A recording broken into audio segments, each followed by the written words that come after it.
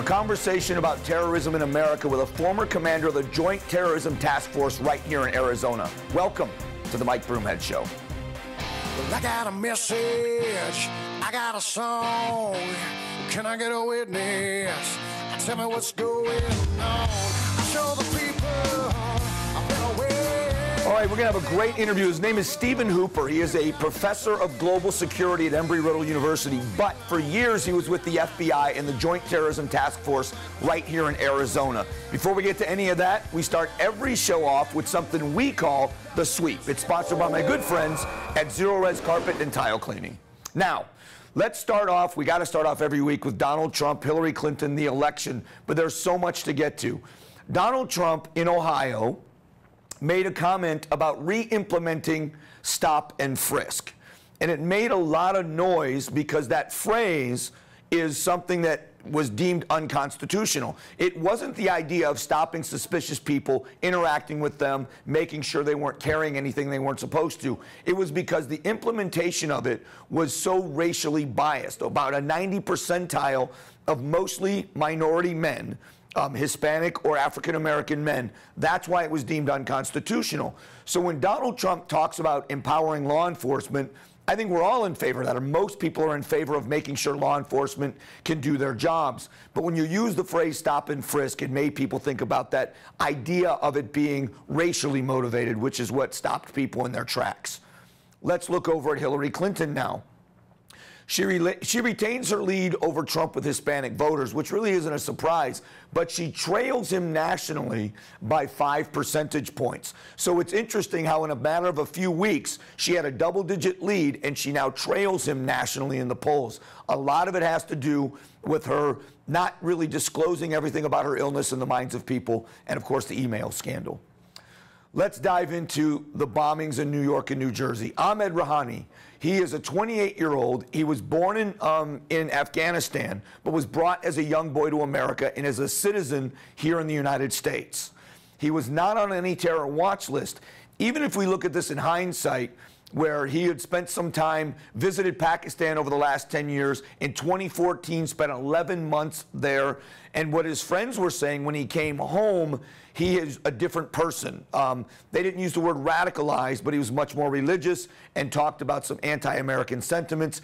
And during a family fight a couple of years ago, his father reported him as a terrorist the investigation from the federal agencies didn't warrant further investigation.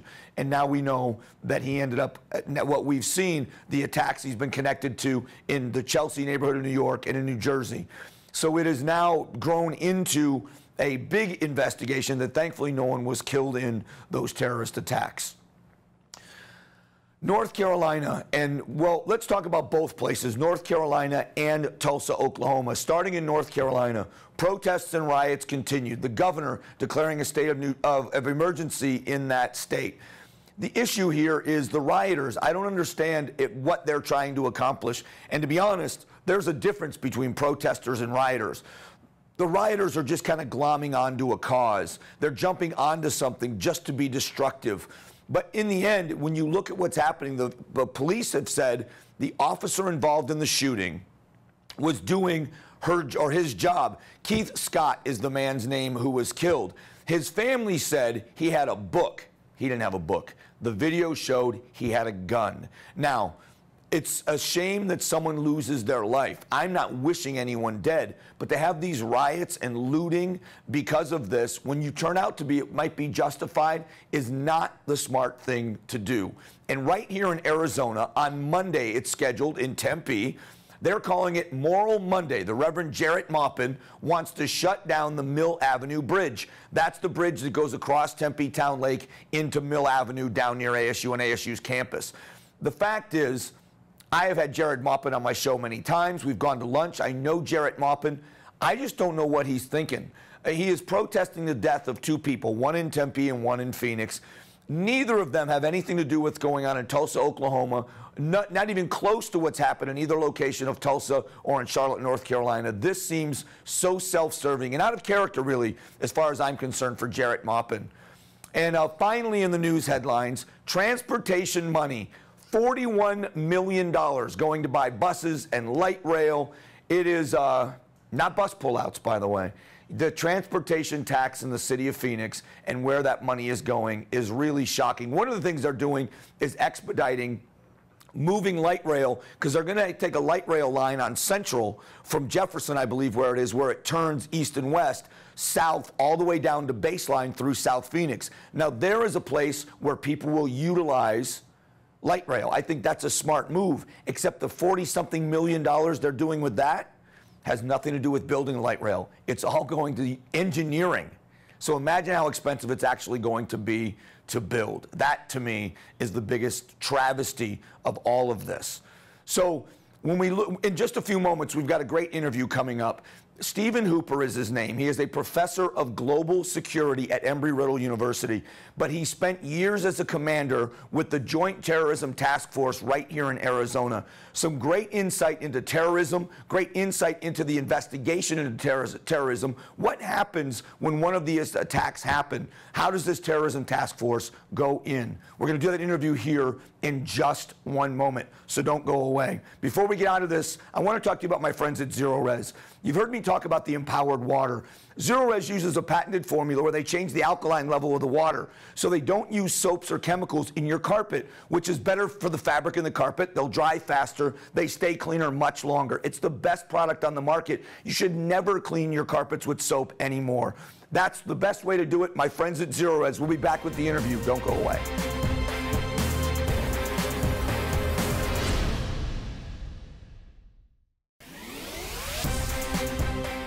All right, terrorism in America. Once again, America under attack. New York, New Jersey. We know about an attack in Minnesota. And what happens in the federal government with the agencies that the Joint Terrorism Task Force?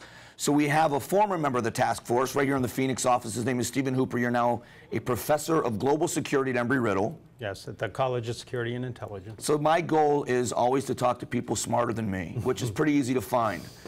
When you see these things happen based on your experience, you've got to think about it differently than the normal person does because you must be thinking about what the agency is doing. What happens when an attack happens with people like you in, in that position? Well, so understand when you talk about the attack first happening, first responders are the critical piece. And when the first responders show up, it's generally mayhem.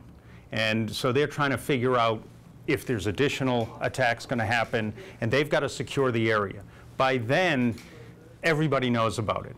And I, uh, I always say in meetings with multiple agencies that are either part of the task force or are part of the first responders, I always say to them, guys, there's no he's in charge, he's in charge. We're all showing up.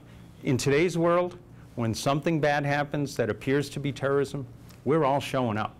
So the JTTF, the Joint Terrorism Task Force, who covers that AOR, that area of responsibility, that domain, they will get notified generally through, it could even be a news report. Hey, did you hear what's on the news?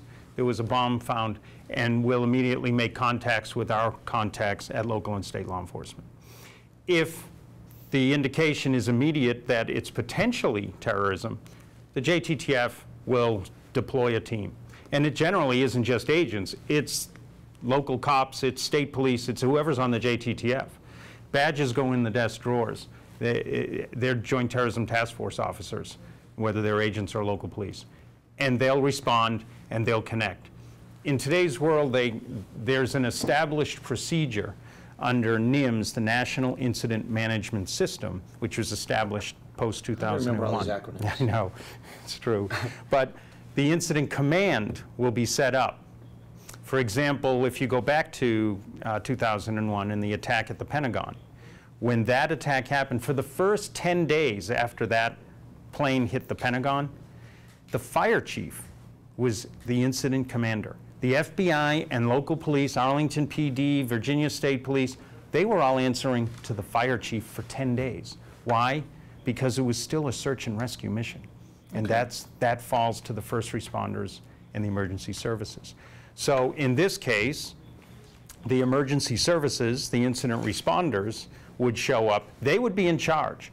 As the FBI and Joint Terrorism Task Force, other federal agencies, like I said, in today's world, we're all showing up.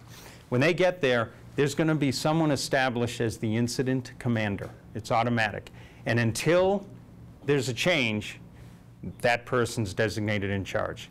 In today's world, it's generally the local police chief, depending on the situation, like down in uh, uh, Charlotte right now with the madness going on Right. down there. The chief said it last night, I am the incident commander. And that's based on that procedure that's in place.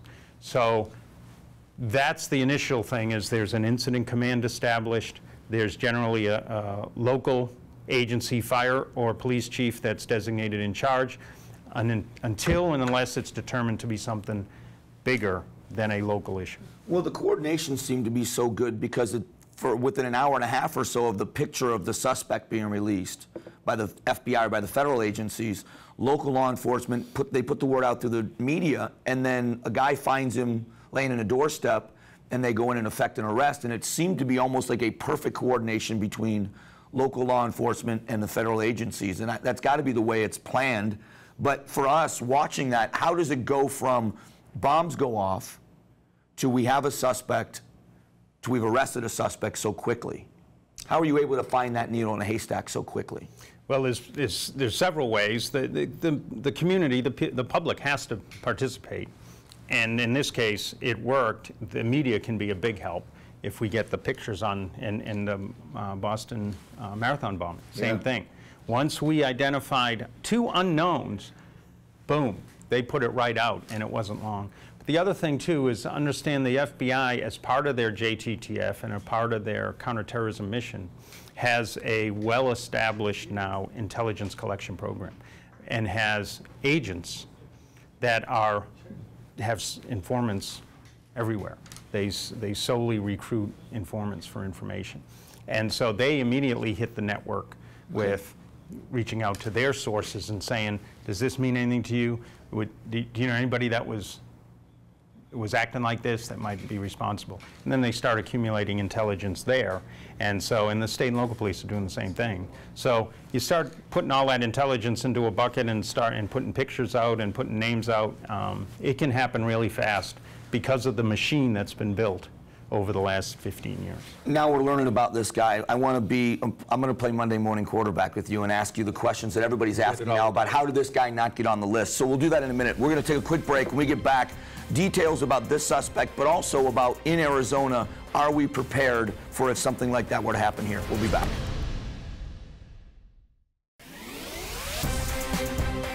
We are talking about terrorism in America with a professor of global security from Embry-Riddle. His name is Steve Hooper, and you were on the Joint Terrorism Task Force here in Arizona for a long, for how long?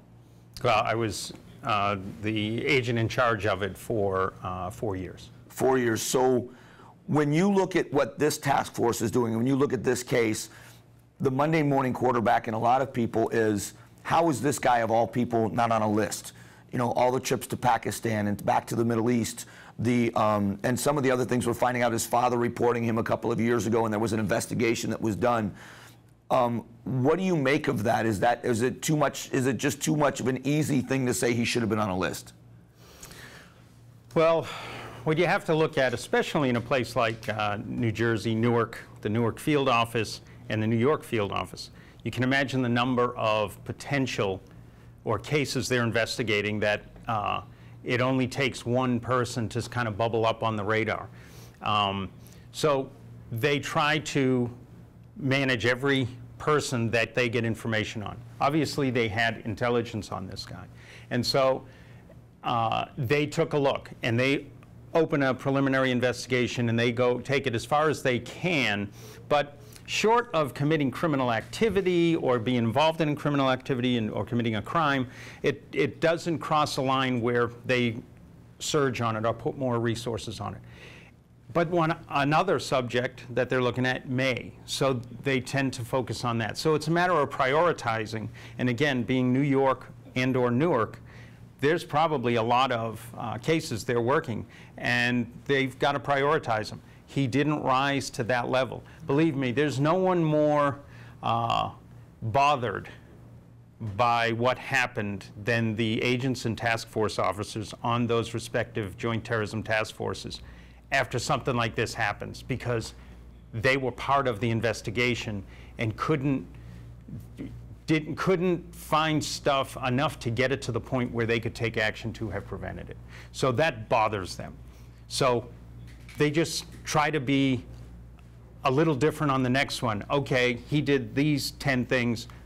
Are any of our other subjects doing these 10 things? And they start looking at So they use it as a training tool. Absolutely. You got to do a lessons learned. So here in Arizona, we know that a couple of um, couple of guys from Arizona went to Texas to try to commit that shooting there.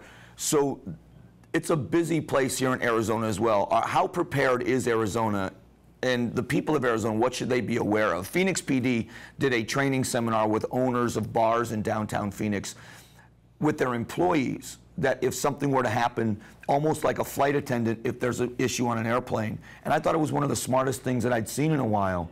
How prepared are we here for if something were to happen? The Joint Terrorism Task Force here is as robust and as active as, as any I've seen or been involved with. Um, there's a tripwire program that where we we uh, focus on people who might, uh, and it could be, it's all the local businessmen, and people who see something that may be suspicious, so that if they see something that they think we should know about, they have a point of contact. It's not, who should I call on this? They have a direct uh, connection. So um, the, the, it's a very robust task force. I think at last check, there's about 26 law enforcement agencies that are on the task force. Every East Valley PD, every West Valley PD, TSA folks, um, air marshals, all the other federal partners, all have people on the task force, um, which gives us access to information well beyond just the FBI's information. How many people on the task force in Phoenix? How many how, uh, roughly, how many members are there? That's a tough question. There's, there's uh, four squads plus a uh, intelligence squad plus analysts. Um, you're talking in excess of 100 people probably. And they're kept pretty busy. I mean, there's, there's got to be a lot of information coming in and a lot of investigation that may not go anywhere, but you've got to follow all of them. No, no shortage of work. So moving forward with, with, what happened here, it seems like this guy was mirroring a little bit of what happened in Boston, but a little bit more sophisticated in how he made these these um, these bombs. Does the investigation go in the direction of are there other people involved they should be looking at? Is, are they still investigating that as well? Oh, absolutely. So yeah. his network of yeah. How long will it take to accumulate generally to get a good a digital footprint of you know his computer activity, his phone activity? Well, it, uh, in, in again, uh, you have to look at the areas. So you're in New, Newark and New York, uh, very populated, very busy, um, a lot of activity. If any of his, elect, his digital activity leads overseas, there's a lengthy uh, part of the investigation that'll happen overseas. That, of course, will take even longer. Um, we'll have to uh, reach out to foreign governments and foreign entities and so forth. But in general, um, you know, it, there's really no way of saying how long it will take. It depends on what those the digital evidence shows and additional evidence that indicate how big his network was.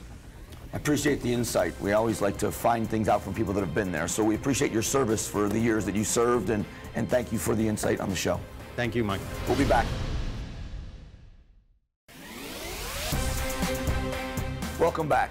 It's time for one of the best parts of the show. We call it From Arizona for America. It's our way to congratulate and thank the fine Arizona men and women who have recently graduated from boot camp and are now serving in our country's military.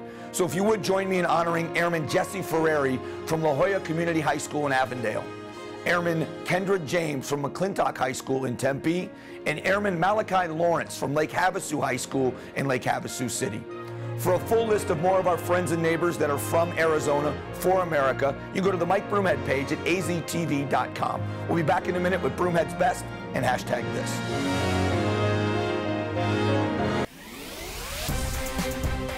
A special Diamondbacks edition is something we call Broomhead's Best. Paul Goldschmidt of the Arizona Diamondbacks gets his 500th RBI. The only other Diamondback in history to do it is Luis Gonzalez. Two home, runs in the win against the Padres and a three game sweep. Congratulations, Paul Goldschmidt. You're this week's Broomhead's best.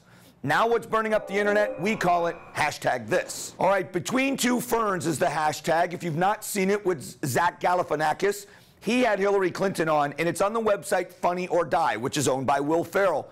Absolutely hysterical. You can see in this video, he is so funny and she is not amused. Go check it out on Funny or Die. It's hashtag between two ferns.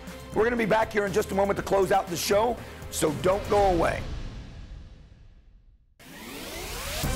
Before we close out the show, I want to remind you of something. The next time you think your vote doesn't count, Congressional District 5, Andy Biggs wins CD5 over Christine Jones.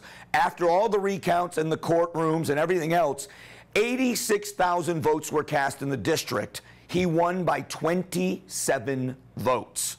27 people could have made a difference if they had voted in that election. Don't ever believe your vote doesn't count. When they say it's the most important election of our lifetime, it really is. And four years from now, that one will be. Make sure you make sure your voice is heard. Be a part of the solution, not a part of the problem. That is what we should do. We're out of time. I'll be back next week at Saturday at 6 and 10. Thanks for being here on the Mike Broomhead Show. Have a great week. God bless.